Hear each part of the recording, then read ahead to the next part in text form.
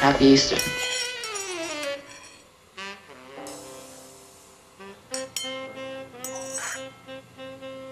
We give you love and affection, don't we? Well, then what is it?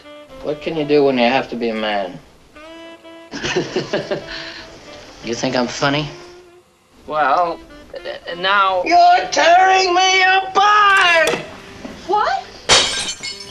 That's a fine way to behave. You give me a direct answer.